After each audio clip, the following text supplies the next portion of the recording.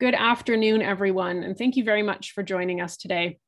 My name is April Wepler, and I am the Engagement Coordinator with the Canadian Environmental Law Association, or CELA.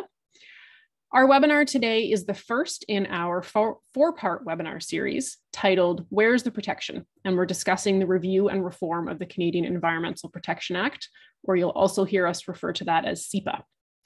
And CEPA regulates a broad range of things in Canada, from the most dangerous pollutants to plastic manufactured items to genetically engineered animals. Today's webinar will focus on the problem with CEPA. Before we get into our webinar, I'd like to start with a land acknowledgement. I'm calling in today from Guelph. I live on the banks of the Speed River, and I'm on the traditional lands of the Anishinaabeg and Haudenosaunee peoples and on the treaty lands of the Mississaugas of the Credit First Nation and neighbors of the Six Nations of the Grand Watershed. And please feel free at any point if you'd like to share your own land acknowledgement in the chat box. You're also welcome to introduce yourself in the chat box as we'd love to know who's joining us today. I'll start off by telling you a little bit about the Canadian Environmental Law Association, or CELA. We are a specialty legal aid clinic within the Ontario-wide network of clinics funded by Legal Aid Ontario. We work to protect human health and our environment by seeking justice for those harmed by pollution and working to change policies to prevent such problems in the first place.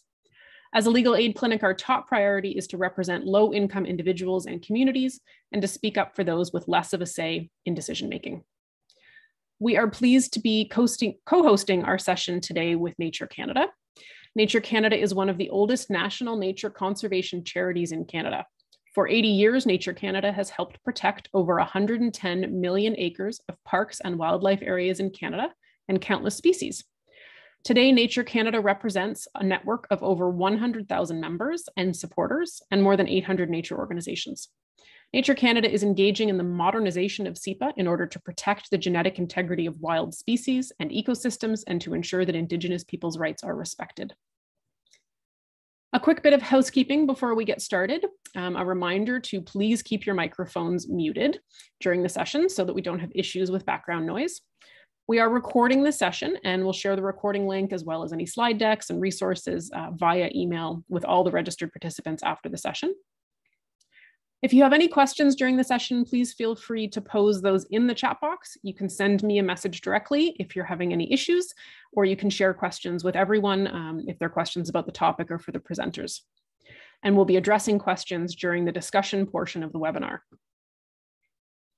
So as I mentioned, you're also welcome to introduce yourself in the chat box at any time. I see some messages starting to come in there. That's great. So on the line with us today, we have some folks from CELA, including myself, Fe de Leon, who's our researcher and paralegal, Joseph Castrilli, who is counsel, and Zoe St. Pierre, our current articling student. From Nature Canada, we have Mark Butler, senior advisor and lead on this work for Nature Canada, and Hugh Benevides, advisor to Nature Canada on CEPA reform. You'll likely hear from many of them during the discussion portion at the end of the webinar. Our speakers today will be Miriam Diamond and Mark Winfield, both of whom I will introduce just before they present. Before I introduce our first speaker, I want to do just a couple of quick polls to better understand who's joining us for today's webinar. So if you've been to one of our sessions before, you will be old hand at this. Old hat, old hand? Hmm. Uh, so I've launched the first question here, which is just what sector do you represent? So if you can just uh, give us a sense of what organization or what type of organization you work with. And if I haven't covered off your industry, feel free to click on other there. And you can also let us know in the chat box so we can have a more complete list next time. Okay, lots of others. So tell me what I missed. Gonna leave this open for just a couple more seconds. And I think it's always fun for everyone to have this information. So not surprisingly, we have lots of folks on the line from non-governmental organizations and happy to see a few from government and academic and students, some media and industry as well. All right, next question I'd like to ask is, this is always just a fun one to get a sense of geographically where everyone is in the country and test your knowledge about whether you know what watershed you're in in terms of uh, ocean drainage basin. And if anyone does click on other here, I'd definitely like to know where you are, where folks are coming from today.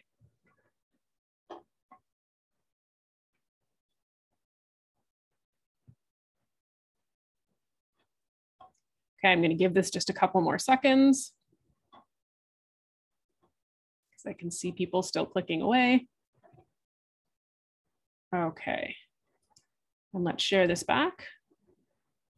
So most of us here in the Atlantic Ocean Basin, but definitely some are most from the Atlantic Ocean Basin, also some from Hudson Pacific, and lots of others. Well, a few others. So let me know where you are in the chat box. Okay, last question. This is really helpful for our presenters and in planning our future sessions. If you can let me know just generally what your knowledge level is about this topic. I know it's really broad, so this might be a tough one to, to decide. You might feel very knowledgeable about some aspects of CEPA and, and still have lots to learn about others. But if you can give us a general sense, that's really helpful. And I'm just going to leave this up for five or 10 more seconds. Okay. Great. So this is often where things land, most people identifying that they're feeling somewhat knowledgeable about the topic, which is great. All right, so thank you for that.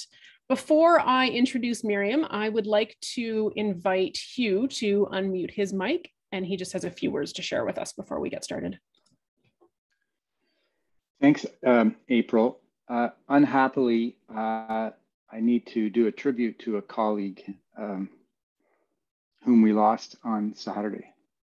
Um, Professor Meinhard Doelle died unexpectedly and all too soon on Saturday, September 17. It's almost inevitable that I won't be able to pay proper tribute to Meinhard in the short amount of time that I have, but I'll try. Meinhard was uh, a professor of law at the Schulich School of Law at Dalhousie University since 2003. Prior to that, while teaching part-time for 10 years, he was in the private practice of environmental law for six years and the executive director of Clean Nova Scotia for another five years. In those early years, he was centrally involved in drafting the Nova Scotia Environment Act and the first regulations under the Canadian Environmental Assessment Act.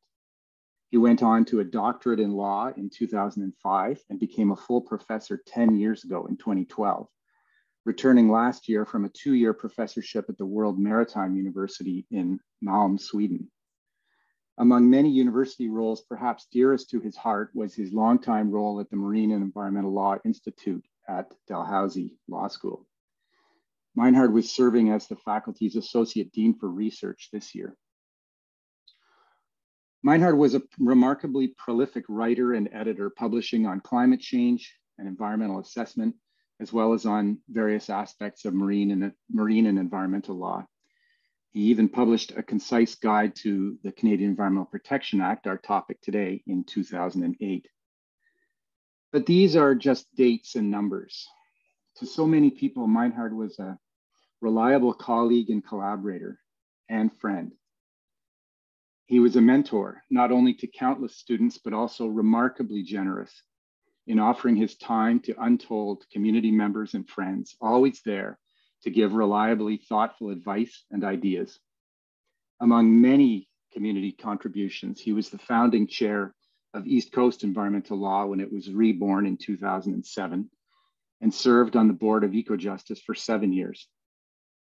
Mark Butler and I consulted with Meinhard just last week on our proposals for part six of CEPA. He was always optimistic and positive, but not Pollyanna-ish.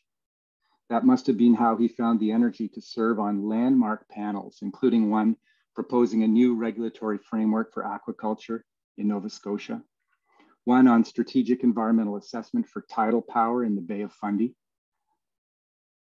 and one on the environmental assessment of the Lower Churchill Power Project. He was a current member of the Technical Advisory Committee on the Federal Impact Assessment Act, among his many, many other contributions. Amidst all of this, Meinhard was a very good friend to many. He loved to run and cycle, and he loved music. And above all, he was a dedicated partner and father to three smart, amazing daughters.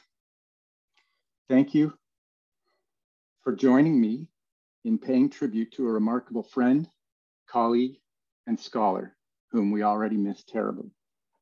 Thanks. Thank you very much, Hugh. Thank you for sharing those words. All right. Uh, well, with a deep breath, I will continue. Um, and at this time, I'm going to introduce our first speaker, Miriam Diamond. And Miriam, if you want to go ahead and share your slide deck um, while I introduce you.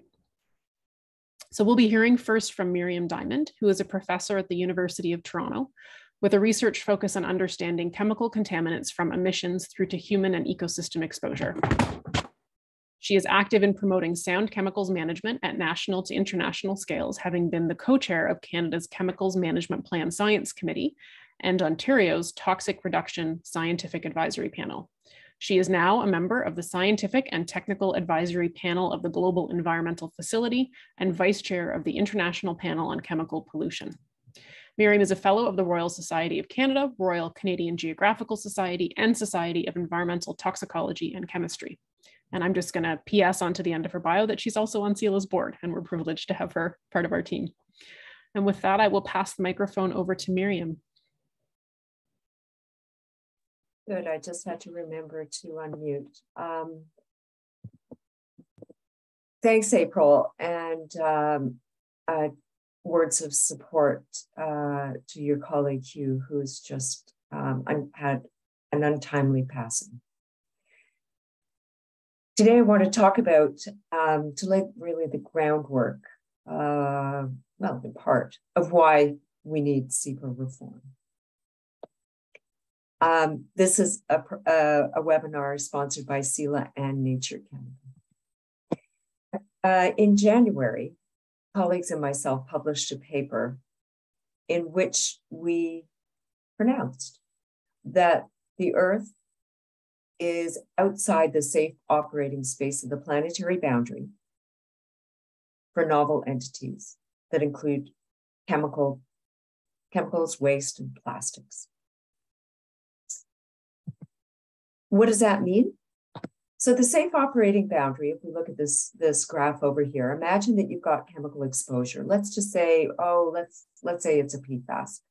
And you want the chemical exposures to be down in this safe operating space, below which ecosystem health will not be adversely affected.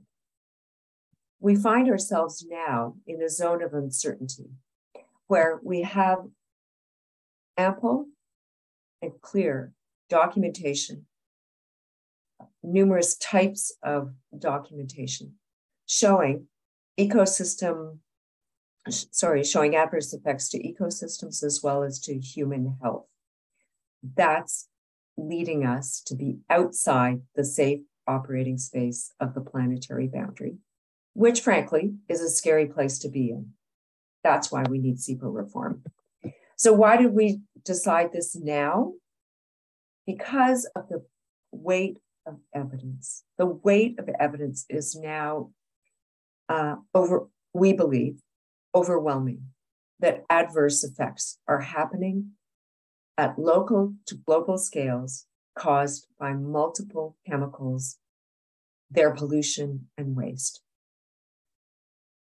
Part of that weight of evidence and why we say we're outside the, op- the safe operating space is because of the incessant rate of increase in the production in the production of total uh, chemicals and the number of chemicals that far exceeds our capacity for assessment and by far vastly exceeds the rate and at which we are succeeding in controlling those particular chemicals. What's changed over time largely? Toxicity assessments. Toxicity assessments have changed. Take, for example, the, US EPA drinking water advisory that went from 70 to 4 nanograms per liter just about a month ago. Um, 4 nanograms per liter for PFOS, 4 nanograms per liter for PFOA. Order of magnitude decrease because of better understanding of adverse effects. I mentioned the unrelenting rate of increase of chemical production. Since the 1950s, total global chemical production has increased 50 times. It's poised to increase a further three times to 2050. This graph shows, for example, um, increase in production capacity because we it's we actually don't have data on actual production. Uh, for example, of the total chemical industry, look, plastics. It, it, the story is the same for um, numerous different chemical categories. It's alarming that we don't have safety data for the vast majority of these substances. Globally, 350,000 substances are registered for use. Now, we don't actually know if they're being produced and used, but they've been registered. 70,000 have been registered between 2010 and 2020, of which 30,000 are registered in emerging economies, which um, our analyses show do not have sufficient capacity for evaluation and management. There's just simply insufficient chemicals management capacity in most emerging economies. 50,000 of these substances are confidential, so we actually don't know what they are. And 70,000 have ambiguous chemical structures. Uh, if you don't know what it is, you can't measure it. 10,000 substances have been estimated to be used in plastics, of which 2,400 are of concern. What about Canada? Well, I can't tell you a lot on this. What we do know is that in 19, I can believe it was 1984, we came up with a domestic substance list in which 23,000 substances were listed. But that, that, that's long ago. Some of them were grandfathered in, some are in use, some aren't in use. Um, 4,300 of these were prioritized through the Canada's Chemicals Management Plan. Uh, we've largely plowed through these, but what about the new substances? All I found on the web was that the Food and Drugs Act includes something like 9,000 different substances. Um, the EU REACH has 23,000 substances, of which 80,000 have yet to be assessed. I won't even talk about the US because that's just that in terms of chemical assessment. Short of it is loads of chemicals, lack of transparency in Canada to even know which chemicals uh, are being used. We, we don't produce a whole lot of chemicals, but which chemicals are being used. We don't know very much about most chemicals.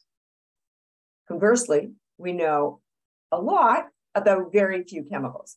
So this graph shows these very high bars. These, these bars are the, um, this is chemical one, chemical two, chemical three, for which um, much of the information has been published. This is for ecotoxicity.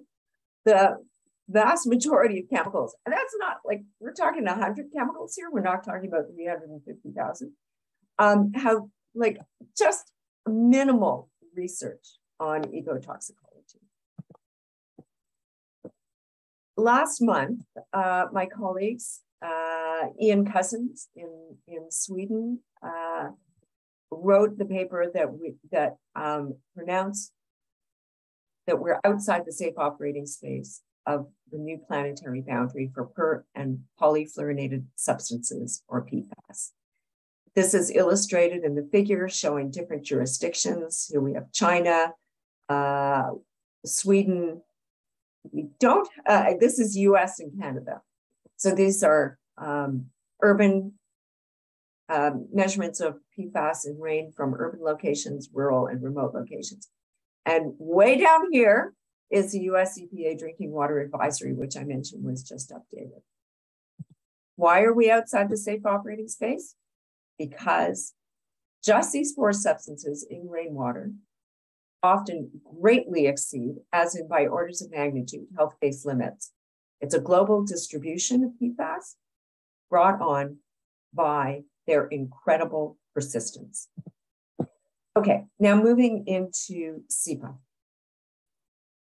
So I'm I am not an expert in CEPA, but what I do know is that CEPA is the overarching piece of legislation that um, aspirationally is an act respecting pollution prevention and the protection of the environment and human health in order to contribute to sustainable development. I'd like the visionary statement. Um, the visionary statement um, expresses the aspiration that chemicals should not be impairing ecosystem and human health, which we know is contrary to a lot of evidence. What I do like about CEPA is that it embraces, at least in terms of the Act, the precautionary principle, pollution prevention, virtual elimination, although maybe that's on the chopping block, the polluter pays principle, and science based decision making. What could go wrong? well, CEPA needs reforming. So that was, uh, you know, 20 years ago. The world is moving on because during the time in which CEPA 1999 was produced, we saw a whole lot of new chemicals introduced and the incessant production of more and more chemicals that are literally filling up the safe operating space. So what reforms are needed? Some procedural forms are needed, are needed first. Strict conflict of interest rules to minimize or at least give transparency to lobbying efforts from vested interests. Those are interests who have a vest, uh, uh, in, uh, bodies who have a vested interest in bringing doubt that we have sufficient scientific information to act, interests that say this is not a problem, that um, have that do not use a precautionary approach to interpret scientific evidence, and who cast doubt on the need for strong action. Second, we need support, as in money, for independent regulatory toxicology science. There is hardly any independent toxicology science without some connection to vested interests that goes on in Canada right now. Sigh. Okay, so what reforms are needed? Just looking at the time.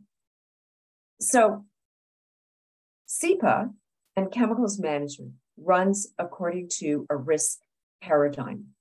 I want to mention that the risk paradigm was increasingly adopted in step with the, the risk framework developed by the US. In the 1970s and 80s, Canada used much more of a hazard approach. We've really become deeply wedded to the idea of risk manage, of, of risk assessment and risk management. What's the difference? Risk is comprised of both exposure and hazard. Hazard refers to the inherent properties of chemicals in this case that cause harm. In other words, toxicity. It's, but it's not just toxicity because when we're talking about the safe operating space, let's remember that, for example, CFCs, HCFCs cause uh, stratospheric ozone depletion. That's big, that's harm big time. So uh, we should think broadly about inherent properties. So it's not just toxicity. Risk is the probability that a hazardous substance could cause harm. You need sufficiently high exposure to trigger a high enough probability of harm, that's what risk is. Sufficient exposure that harm will occur. So the hazard traits in CEPA are broad. Section 64 talks about toxic or capable of becoming toxic. That's very broad.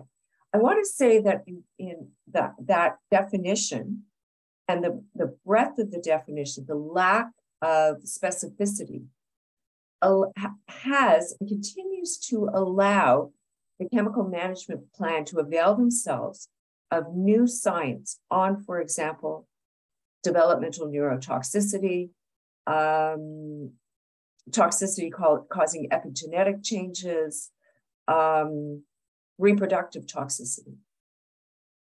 Because most risk assessments are conducted such that the most sensitive endpoint, that's the most sensitive adverse effect, is considered when you've got the data. but the implementation depends on the branch. So, for example, developmental neurotoxicity is not consistently considered. What is developmental neurotoxicity? Changes usually uh, brought on during fetal exposure. Just uh, subtle changes in behavior, such as increase in anxiety, uh, increase in ADHD like behavior. Um, implementation absolutely depends on uh, reliable data. That's really a problem. But also, there's no language, or uh, we, I, I, although the flexibility is important, we have no minimum triggers for toxicity. In comparison, the European Union's REACH legislation has clear triggers for CMR, carcinogenicity, mutagenicity, and reproductive health. CMR, hazardous, high hazard. So what forms are needed? So more on hazard traits. There's a growing body of opinion, I would say it's opinion, um, that persistence needs to be considered as a clear hazard trait. It is considered, it's considered in ecotoxicity. It's considered somewhat in human um, tox assessment, but it's not a clear trigger. If it was, we would not have PFAS in every corner of the globe, including the Arctic. We should consider mobility. Here's another case where PFAS would have been um, identified as being harmful because PFAS is so highly mobile. We should consider the ability to, faci to facilitate material circularity. What enables a material to be recycled? Black carbon in takeout food containers completely nixes the opportunity to recycle those containers. That speaks to sustainability. How am I doing, April? How many more? You're at 15 minutes.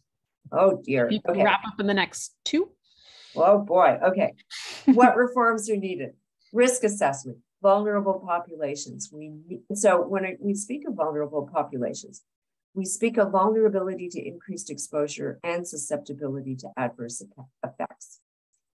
Um, we don't have sufficient data on exposure of vulnerable populations in Canada, specifically low income and racialized Canadians.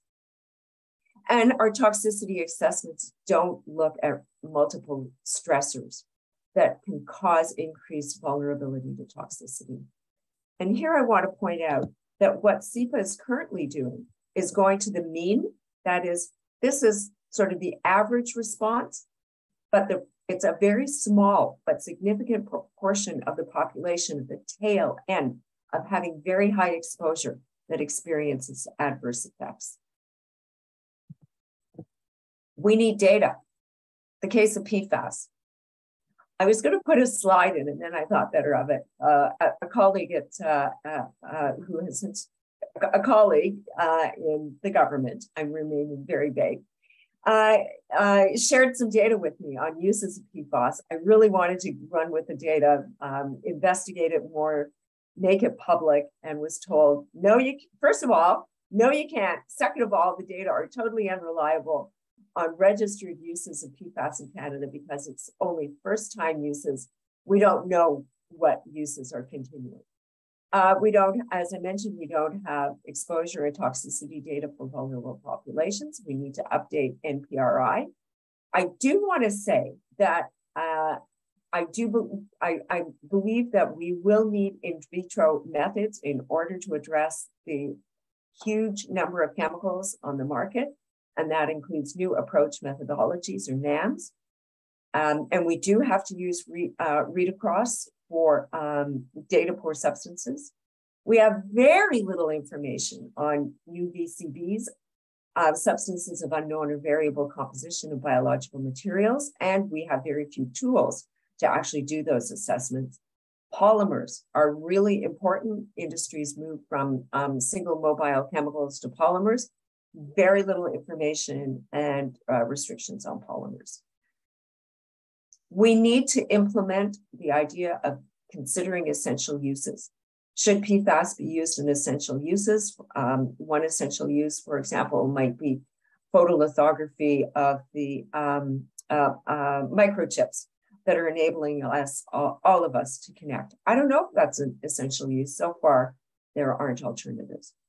Speaking of which, we need, we need alternatives assessment embedded in reviews. We need to take a class approach. If we were taking a class approach, we wouldn't just be gathering data on PFOS, PFOA, and long chain uh, carboxylic acids. We would be treating PFAS as a class. So to reach that vision, it means uh, a critical, it also means a critical analysis of what sustainable development means, which is um, some have called an oxymoron.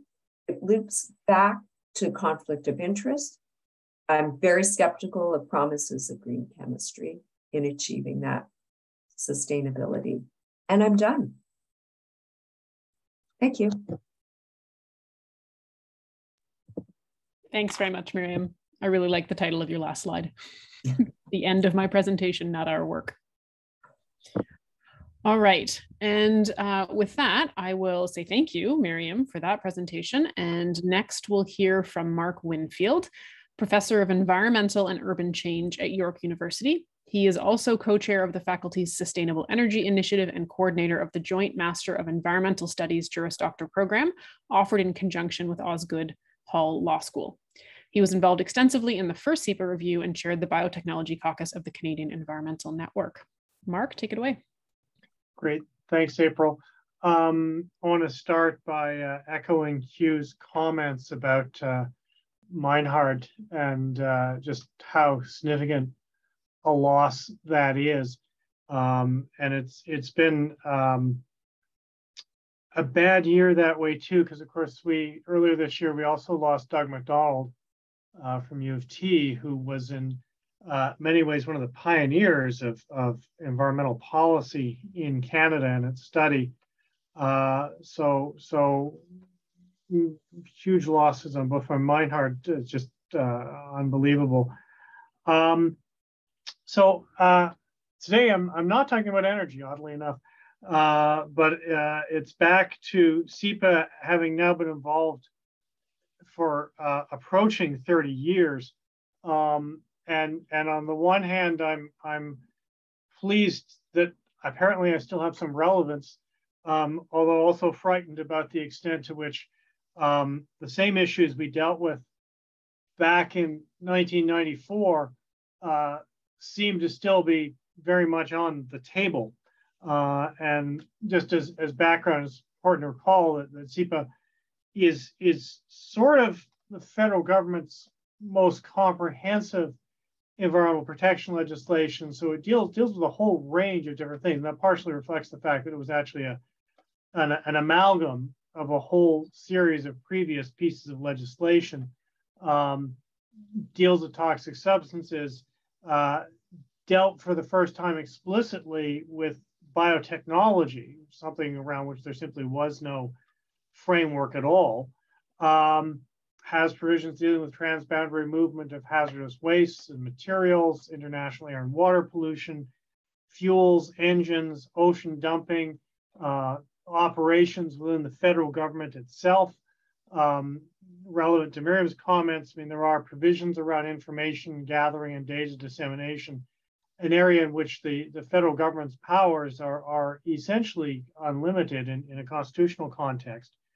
Um, but it is still also striking that given the scope of the authority and the fact that it's been upheld on constitutional grounds several times, um, progress still seems to be painfully slow. Um, and in some areas, we don't seem to make any progress at all. And indeed, we, we may be going backwards. Um, Miriam's already spoken to uh, the painfully slow progress on assessing uh, potentially toxic chemicals and substances, um, particularly those already in widespread commerce, the extent to which the processes have not caught up with the current state of science, um, that we seem to be uh, the, the effectiveness of the provisions around new substances uh, and new uses is, is, I think, unexplored or unexamined territory is supposed to be preventative and it's not clear how effective that is actually being. Um, there is also a concern, not only there's sort of the, the assessment of substances is only the front end of the process. Um, the question arises too about, well, what do you do when you discover that something is toxic?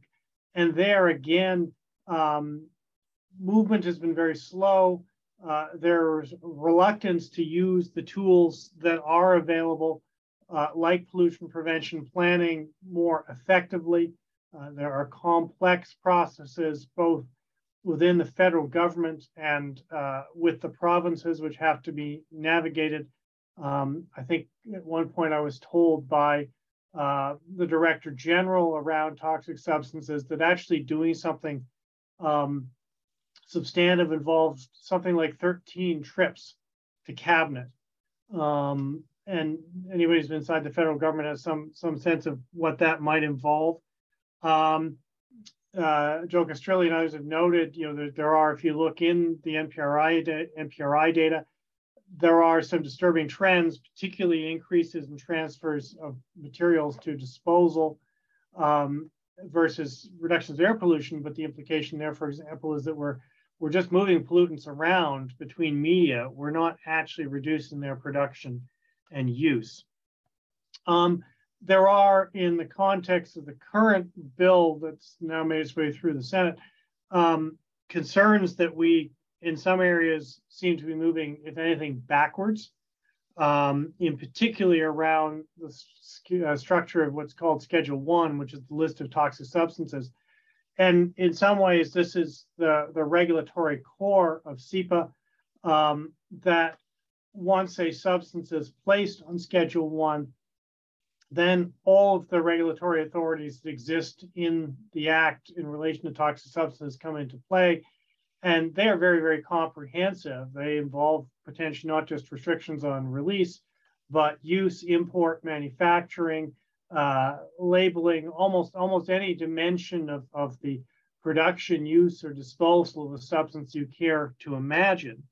Um, so you know, how things get on the list of toxic substances and the toxic substances list itself is very crucial um, because in the Hydro-Quebec decision in 1997, um, the Supreme Court essentially uh, recognized that the status of a substance on the list of toxic substances made it a valid object of the federal government's uh, constitutional authority over criminal law, um, essentially provides the constitutional foundation uh, for the regulation of these substances.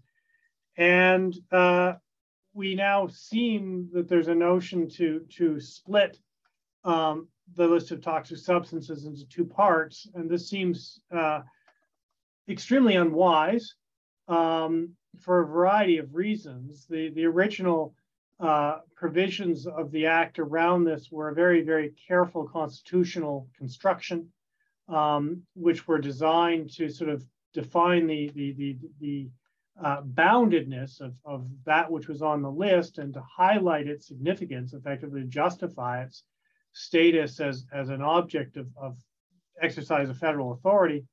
Um, it was also very carefully drafted as well to cover um, and to provide federal authority in relation to substances which are not um, hazardous in the conventional sense of, of presenting a direct inherent threat to human health and the environment, something like mercury. Uh, but it was actually very carefully worded also to capture more systemic threats, um, things like ozone depleting substances, uh, greenhouse gases, um, single use plastics have all fallen into the category and provided the foundation for federal action. Um, it seems to me these these provisions are are best left alone, um, given that they seem to have functioned well and provided the degree of flexibility that was needed. Industry doesn't like the toxic label. Um, I must admit, my response to that is too bad. Um, you know, the the definition is is quite clear in its scope and legislation and has been judicially recognized. Um, there are also uh, a series of what are essentially procedural rights um, around environmental issues. Um, although any notion of a substantive right to a clean or healthy environment uh, remains hortatory and preambulatory and not very operational. And indeed, even the procedural rights that were set up in the original legislation, CEPA 99, have proved to be very limited value. The environmental protection action provisions have never really been, been employed. And even um, the requirements around public notice and comment are of, of limited value given that the thing they don't cover, among other things, is, is um, what you might describe as operational decisions, the actual issuing of permits and things, additions of things to domestic substances list, um, which would really provide more of a window on, on the operations of the Act. Um, it was, uh, I think, a significant step forward that we got Part 6 dealing with biotechnology into the legislation back in 1999 um, but again, this is an area of, of long-standing challenges. Um, it's, it's unclear how effective these provisions have been in terms of providing useful oversight of new or novel organisms. Um, I think there are some interesting proposals out there now in terms of, again, the same things that Miriam was raising in relation to, to toxic substances are issues of need um, and do we should we be assessing the need of for certain things before we go introducing them into the environment and all the risks that that may carry and sort of magnifying existing problems? Um, and then should we be thinking about alternatives? Um, are there better ways, lower risk ways of achieving the same outcomes? Um, these are all things that that uh, there is around which there is profound opposition, uh, both among established economic interests and within the federal government. I mean, this this very definitely moves outside of the risk-based paradigms uh, that really have defined the act. That the the paradigm remains fundamentally responsive and and beyond relatively immediate threats um, to human health or the environment. Um, we're not going to ask deeper questions about should we be doing something or should we be allowing something into commerce in the first place? Um, these kind of touch on some, some other long-standing themes that we've not really found answers to um, that the legislation as drafted outside of the, the sort of area of toxic chemicals um, functions very much as a backstop as opposed to a benchmark in relation to things that are regulated by other agencies, uh, food and drug being an obvious one, pesticides, another one, um, agricultural inputs, fertilizers, seeds, which of course, particularly seeds encompass products of biotechnology. Um, the way the act was worded is, is that CEPA is, is very much a backstop. It applies if nothing else applies, as opposed to setting a standard of review and assessment uh, as a benchmark that other agencies, if they purport to regulate things under other pieces of legislation, say pesticides, um, genetically modified organisms under agricultural legislation, um, would have to meet. And that sort of is the product of, of even larger sort of battles that occurred within the federal government and continue to this day uh, around who should regulate. And, and as Miriam highlighted, you know, behind that are questions about, well, who are they actually responsive to? Um, and that's a big question when it comes to things like pesticides or products of biotechnology. Um, the same problems continue to uh, apply in relation to the federal provincial dynamics. Um, there are still provisions which require extensive consultation with provinces before federal action can be taken. Um, this introduces layers of delay uh, at a time when we, we don't really necessarily need that much delay. And of course, um, reinforced by the consideration, at least in a few provinces, uh, their commitment to environmental matters is, is suspect. Um, and their vulnerability to the voices who may not be very keen on change is, is probably acute. Um, I think I might leave it there uh, for now as an introduction in terms of where some of the, the big questions kind of lie. Uh, but it is, you know, are we are we making progress uh, around the problems that, that Miriam so clearly defined? Indeed, we seem to be at risk in some ways of, of moving backwards. Are we making full use of the provisions of the Act that already exist and, and how effective are they? Um, we seem to not be making progress on environmental rights. And there are these, these larger questions of where um, does CEPA fit within the, the national or federal regulatory regimes around product substances and activities that pose threats to human health and the environment, and then how that regime functions uh, relative to the roles of provincial governments. And that might be, as I say, um, a good place to, to leave off and invite questions. Thank you very much, Mark. Okay, at this point, I'm going to ask all of our presenters and staff from Nature Canada and CELA who might be answering questions to turn their cameras on. Uh, you're welcome to unmute yourselves as well. So to all of, uh, to everyone listening, if you have questions, um, if you could put those in the chat box, we can answer those now. And while you're formulating your questions and while you are putting your questions in the chat box, uh, I'm going to ask, I didn't hear this addressed, and maybe it's because I was also answering questions in the chat, so I apologize if this is duplicative, but I wonder if um, someone is on the line could just talk for a moment about where CEPA is at in the legislative process. So that might be a question for Mark Butler or Hugh or Joe or Fe. Um, maybe I'll start. Um, the uh, Senate passed um, Bill S5 on uh, near the end of June 2022, uh, at which point it was ready to be presented to the House of Commons. It has not yet actually been introduced in the House of Commons, but is expected to be introduced, I would say, within the next few weeks. Uh, at which point, after first reading, it'll and, and second reading will most likely go to um, uh, a committee of the House for consideration in the latter part of October and November. Okay, thank you, Joe. And I had another question. No, I'm going to save that for the end. Okay. So while folks are thinking about their questions, feel free to pop your questions in the chat at any point.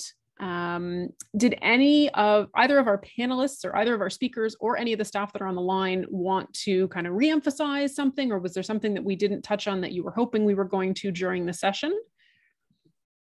Now would be the time that you could share those thoughts if you'd like to. Mark has his hand up. Go ahead, Mark Winfield. Uh, mostly a question for Joe. Um, is the the somewhat unusual legislative pathway that's been followed here hmm. um, of the legislation coming, being introduced first in the Senate, uh, and then making its way to the House.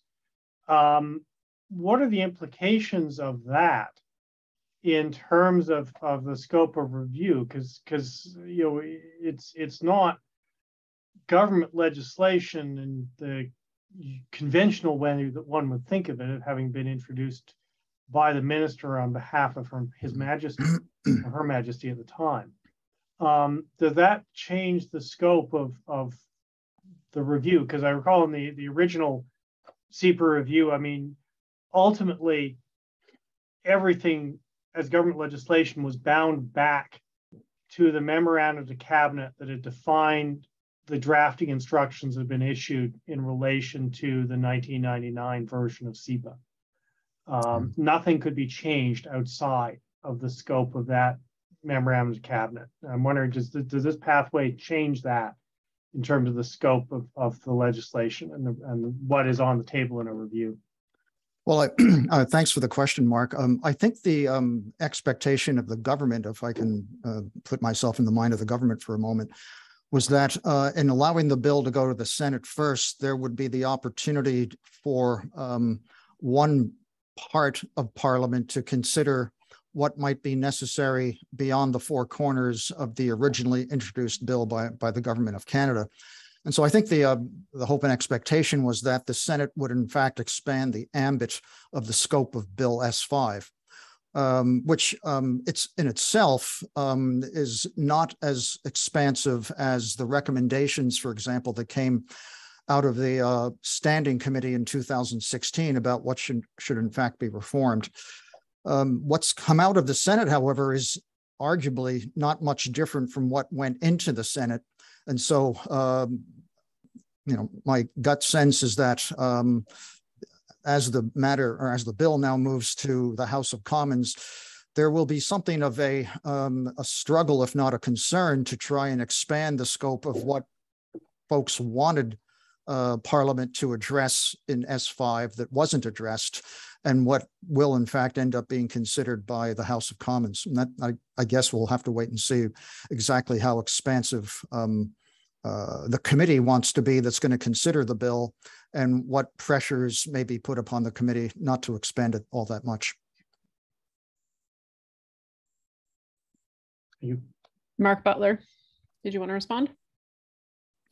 Yeah, I just want to add, I agree with uh, Joe uh, with regards to part five. Uh, Nature Canada is, is focusing particularly on part six and actually in the Senate. And uh, you know, I appreciate the the effort uh, senators took uh, in looking at Part Six. The senators did make some amendments to Part Six. They added an amendment around public participation, an amendment around need. And I think this was done against the wishes of the government because up to now we have not been able to convince um, the government to amend uh, Part 6, which regulates genetically engineered organisms. But the Senate uh, did. And we're hoping these amendments are going to stick as the uh, bill move Bill S5 moves to the House of Commons and even be strengthened. Uh, actually, perhaps I could add. I I agree with Mark that um, uh, Part Six um, was amended in ways not necessarily wanted by the government. And so, in that sense, uh, what came out of the Senate is probably an improvement uh, over what went in. But in relation to pollution prevention under Part Four and um, control of toxic substances under Part Five, um, uh, really, uh, there's no difference now between um, the existing statute, uh, CEPA 1999, and uh, the current version of Bill S5. And maybe I can also quickly unpack Mark Winfield's question one step further. And that's just to say that two things are true at the same time. One is that Cabinet gave permission, if you will, for Bill S5 to address certain topics. Um, on the other hand, the Senate has uh, less strict rules than the House of Commons. So the result of that, the result of introducing the bill in the Senate, is that we did get some additional changes like in like those in part six that Mark Butler's referred to. Both the Senate amendments and any others that advocates and the public want to propose for the House of Commons stage, both of those will still need to get cabinet approval if they exceed what cabinet gave permission for. So as a body, you know, the executive wants to review anything that it didn't approve when the bill was first introduced. So that's kind of what we're up against, including, as I say, the Senate amendments already made. Those have to be approved by the executive, which means the, the, the, the officials and cabinet. Thanks, Hugh. Uh, a, a, good question just came into the chat. And before I pose it, I'll just remind everyone this is part one of a four part webinar series. Um, and I, I share that reminder because I know we're not going to be able to in depth answer each of the questions and the many, many topics um, that fall under CEPA. Um, having said that, there was a question could you briefly talk about the parts of Bill S5? And I know that's going to be a larger part of, I believe, the second webinar, but maybe someone could do a very quick skim across these part one, part five, part six that we keep throwing around that may not be clear to everyone listening. Um, maybe I could start and um, I'll just focus on two of the parts that were at least um, marginally addressed by uh, Bill S5. Um, part four uh, deals with pollution prevention. And uh, that's um, uh, that's been in the bills or that's been in the act since um, 1999 2000 um, an attempt to uh, address the use and creation of toxic substances both um, uh, so it attempts to uh, really focus on the extent to which we can um, not um, reduce concentrations of substances so much as address whether a particular substance needs to be created or needs to be used in first instance. Um, part five, uh, and, and, I should say part four was only marginally touched upon by the Senate. Uh, and so from my perspective, and you're going to hear a lot more about this from me in two weeks in what I suspect will be painful detail by the end. Um, uh, part four is um, largely unchanged from how it exists uh, currently under CEPA uh, with some uh, minor changes at the margin. Uh, part five, which is about controlling toxic substances, really is a much, much more a traditional uh, regime of, I'll put it in broad uh, terms, pollution abatement, uh, where a lot of the, where all of the regulations under Schedule One um, are generated. most of them deal with controlling concentrations of particular substances that might be emitted to air or discharged to water. Uh, there also are some um, substances that are that are dealt with in terms of use and availability for use, um, and methods of um, uh, methods of uh, production. Um, again, there were only really marginal changes to uh, CEPA under under um, the Bill Five amendments and um, uh, the kinds of changes we want to see, um, uh, I'm going to talk about in, as I say, greater detail in two weeks. But those are the two um, parts four and five from an industrial chemicals perspective are the are the heart uh, of the statute, and those were uh, and those two areas where many of the amendments, such as they were, uh, occurred.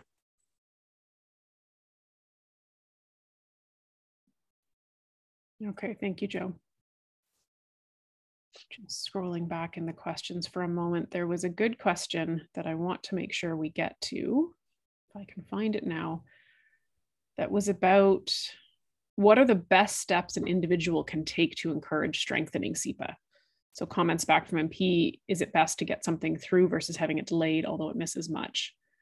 Um, so, I mean, again, I suspect we'll, you know, get into that in some detail in the next webinar, but could we talk for a moment for folks who may only be able to join us today about what individuals might be able to do?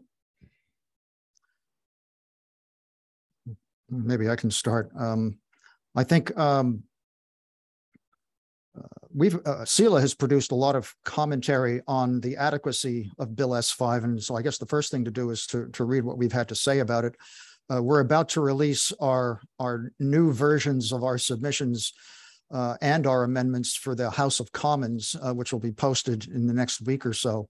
Um, but the gist of what we we have in these new documents are pretty similar to what we we told the Senate uh, earlier this year. Um, read what we have to say. Um, if you agree, um, write to your member of parliament, um, write to the chair of the um, uh, of the Standing Committee on Environment and Sustainable Development, write to the Prime Minister. Uh, those are three things you could do as an individual that would be helpful at this stage.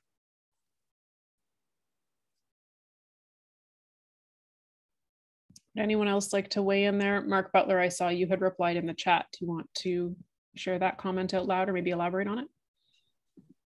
Yeah, well, I guess our approach, it's been 22 years since this act has been significantly amended. So uh, let's do as much as possible now.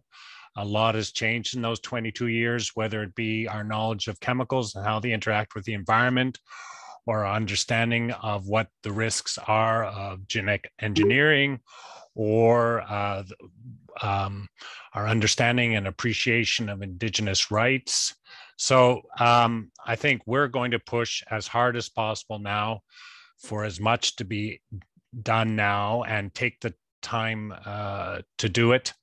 And yes, uh, there's no magic bullet to changing the government's mind. I think uh, they're starting to feel some pressure. Uh, so get in touch with the members of the committee, including in particular the Liberal members of the Environment Committee. And I just posted the link there, and your MP and the Minister of Environment.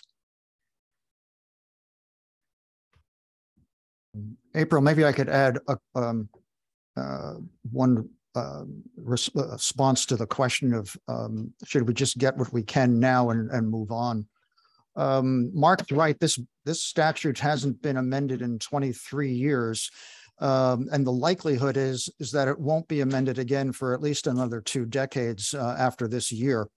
Uh, some of the problems that have been identified by the speakers today um, and that are identified in the material that CELA has generated over the last uh, few months uh, identify problems that have been around for close to two decades. And the concern is, is if we don't address these issues now, uh, we're going to be talking about these same issues around the year 2040 that we should have been trying to solve uh, four decades earlier. So uh, my view is um, the government has to consider much more uh, robust uh, amendments to, steep, to CEPA than what they've been prepared to um, uh, put forward to this point in time. Thank you, Joe. And I was quiet there for a moment because I was chasing down the link for CELA's CEPA law reform page. Um, so all of the content that we've produced around CEPA in the last couple of years and historically should be on that page. And I would, then, I would, sorry. No, I was just going to read. Sorry, did you want to add to that, Mark? Yeah, I mean, I would, I would re-emphasize the point to quote Dr. Seuss noise, noise, noise um, is is what is needed um, because you know, there are a lot of interests who would like things to stay the way they are mm-hmm. or to move backwards. And if MPs and the government aren't hearing from anybody else, that's what will happen. Yeah, great point. Uh, and I should just let people know we we have our session booked until 2.15 today. So in case anyone's worried that we're going over time, we're not. We have 10 minutes left.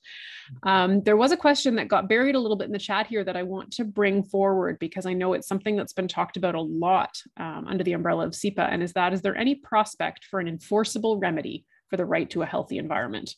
Recognizing that could be a whole nother topic in and of itself, a whole nother session. Does anyone want to take a minute and answer that or try to answer that? Uh, maybe I could start since we spent some time on this issue uh, in the Senate. Um, there is a provision that I think Mark may have alluded to in his comments, um, the Environmental Protection Action uh, provision, which is uh, Section 22 of the existing act, which um, has not been invoked once by any member of the public in 23 years. Uh, the reason for that is that there are a host of procedural uh, um, obstacles that are embedded in the statute that make it well nigh impossible to do so. Um, that problem has been identified by two different um, standing committees of the House of Commons and one standing committee of the Senate uh, since at least uh, 2007. And uh, in fact, um, even though the Senate did not move on the issue, uh, though asked to, to, consider doing so this year, this summer, they did they did identify in an observations report um, that very problem. That even if we had a robust right to a healthy environment in Bill S5, which we do not, um, it would not be enforceable because uh, Section 22 has not been amended. The government didn't propose amending it, and the Senate did not uh, propose amending it. Um, will that change in the House of Commons? I guess is uh, an interesting question going forward. Mark Winfield, I see your hand up. Yeah. Um, this is an interesting one. I, I agree, Joe, in terms of CEPA itself. Um, the other pathway, of course, is that that Linda Duncan, when she was an MP, tried to push the rock of a federal environmental bill of rights up the hill several times, and indeed get, did get it past second reading uh, at one point in the context of minority parliament. Um, so that is the other the other potential pathway, though I don't know if anyone has introduced uh, a similar bill in the current round, but that's that's the other way this might happen is through a, a specific standalone piece of legislation, almost certainly a private member's bill. Uh, Mark, I could um, advise there is a there is a bill in the House of Commons now by um, uh, member of Parliament Cannings, um, which um, I'm not sure what its status is. I think it's going to be considered by the House um, this fall, but I, I I don't know the time frame.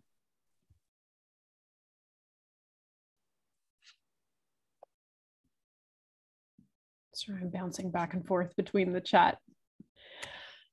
Um, okay, so we're at 208. We've got just uh, six or seven minutes left. And you'll see Fe is now popping some resources into the chat. So she's sharing all of the links that are up on the screen. Um, so all of those links that are on the screen that you can't click on from your computers are going to pop into the chat that, um, now, but we will also be sharing uh, this slide deck. So the opening and the closing slides Miriam slides, um, as well as a link to the recording from the session um, via email. So I'm going to give folks another minute if there's a last question that somebody wants to drop in the chat. But um, at this time, I would ask if either Fe or Mark Butler would mind just taking a moment to talk about the next three webinars that are scheduled. So this is a four-part series. Today is number one. Um, the other three are all on the same event page that you use to register for today, but you do have to register for each one separately. But if Mark or Fe want to just talk for a moment about what will be the focus of those three, and I'll drop that event page in the chat while you're talking. Sure. I'll start and Mark could add. Um, yeah, so the next um, session is um, scheduled for October 12th. The third one is, uh, the, the first, sorry, the second one is um, focused on the fixes. So some of the information you've heard from Joe and Mark and Hugh and um, others um, are going to be relevant, but we will have on, on that call uh, Senator uh, Rosa Galvez, who was instrumental and active in the Senate committee hearings, as well as uh, Joseph Castrilli and Hugh Benevides, um, going into more specifics. Uh, the third the third session is scheduled for October 19th, and we're going to have a panel um, with Indigenous um, representatives um, talking about UNDRIP and a relevancy to CEPA reform. Uh, we will be joined by Senator um, Mary J. McCallum and two of our, um, our Indigenous colleagues, uh, Joshua uh, McNeely and um, uh, Mike Perry. Um, so we're, we're eager to have that um, webinar um, go on. And then the final session will be focus, uh, will be scheduled for uh, October 26th and we'll be joined by Meg Sears and and oh sorry, I've forgotten the other person. My apologies. Mark Butler. Mark, Mark, Mark, sorry, Mark. sorry, Mark. That's okay. Too many marks. Um, and we're um, still and we're still working on the the yes. last two in terms of uh, speakers. Right. Yeah. Yeah. So anything else, Mark? Sorry. no, no, that that was great. Uh, thank you. I it, April, do I have time to ask a question of uh, Miriam Diamond? Uh, you do? Yeah, we have five okay. minutes left, so we can take another question. Okay, I really uh, appreciated her focus on the risk assessment process and how it's based on hazard and exposure. Uh, because I know with the genetically engineered salmon, which first uh, triggered Nature Canada's interest in, in CEPA, uh, the hazard to wild salmon was considered high, but because uh, they said, you know, this fish is going to be uh, on land in, in land-based uh, uh, facilities. Exposure was low, um, and every time they could assess a project, they could get that answer. But over time, our estimation is that uh, the exposure will just keep going up and the overall risk will just keep going up. Anyway, my question really is, can you say a bit more about how we could improve the risk assessment process uh, to better capture the risk of both chemicals and genetically engineered organisms? Sure, thanks, thanks, Mark. Um, the first point I'd like to make is that assessments should include high hazard chemicals, that um, we should not have to prove high exposure. Let me give you a very, what I believe is a very compelling argument of why it's way too late and ineffective to use a risk assessment framework. I see I've got only a minute or two. Um, technology production ramps up. Uh, in the case of um, uh, fish farming, we're talking about the ramping up of um, pharmaceutical or like veterinary products, antibiotics, and so on uh, for that marketplace. By the and then and the whole uh, using fish farming as an example, that whole industry ramps up. By the time a risk is triggered, the game's over. Fish farming is deeply embedded in the economy. Lots of people are getting their incomes from fish farming. The veterinary production has, is embedded. Um, game's over by the time that high risk is triggered, which is why you need hazard assessment. Um, so, and how can we improve? So, there's tremendous industry pushback towards uh, considering hazard rather than risk. Because industry would say everything's okay if you're below a threshold. That's okay if that may be the case in some situations, but not in all. And that's why we need to identify those hazard traits. High hazard out should be out. How can you improve the risk assessment process? It, it part of the situation that you're explaining is the lack of ability to project into the future how situations change and how different populations can be exposed, which is one of the drawbacks of risk assessment. It means um, considering very broadly uh, risk scenarios. And that's hard to do. I mean, that's where precaution comes in. So that, I don't know if I addressed your question adequately. Yeah, well, I think, uh, and I think a lot of groups are calling for certain chemicals to be considered high hazard and to be treated differently. And I would say, you know, our position with Nature Canada, say around genetically engineered salmon, which has a wild counterpart, so the risk to wild salmon is high, that those two should be considered high hazard. Correct. So, what wasn't understood when the initial scenarios were implemented was the potential for gene jumping, that is, gene, uh, genes jumping from um, genetically modified organisms to non genetically modified organisms. And the um, and the uh, that GMO organisms would be running rampant in the environment and have the opportunity for gene jumping. So um, early on, the science wasn't uh, well enough understood. Precaution wasn't used with the possibility of gene jumping. Thank you, Miriam. Okay, recognizing that we are at 2.15, I'm going to call that the last question. Um, and I really want to thank both Miriam Diamond and Mark Winfield for taking the time out of their very busy schedules to present today and to talk to us about this topic. And then also thanks to all the staff from both Nature Canada and from CELA for organizing today's session. Hugh has put um, Mark's email address in the chat box, uh, which is where you can get in touch with Mark to become a subscriber for Mark's newsletter. And I'm putting the link to our newsletter in the chat as well. So that's where you can get additional information. I would encourage everyone to sign up for the additional webinars. Um, as I said, you need to sign up for each of those individually. And then the very last thing I'm going to remind you about, um, if you stay on for half a second after the webinar ends, you're going to get a survey that pops up. If you could take a moment and fill out that survey, I'm also going to put it in the chat box, just gives us some feedback about the session. And if you have any other questions, Fe de Leon's contact information is on the closing slide here. You're welcome to get in touch with Faye.